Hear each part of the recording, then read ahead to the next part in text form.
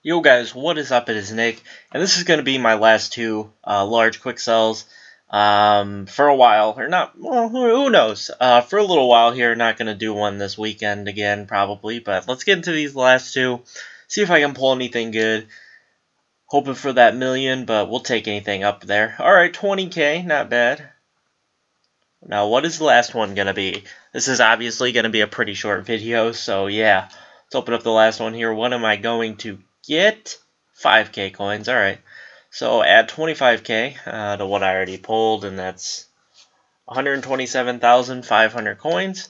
Uh, let's go quick sell those all right now. Do that here.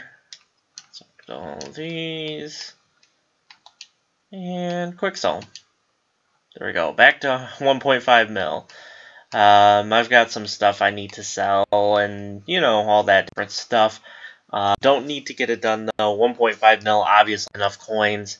Uh, but yeah, I'll catch you guys in a, in a little video later today going over the new uh, Legends that came out yesterday. So I hope you all enjoyed, and I'll catch you in my next video. Peace out, guys.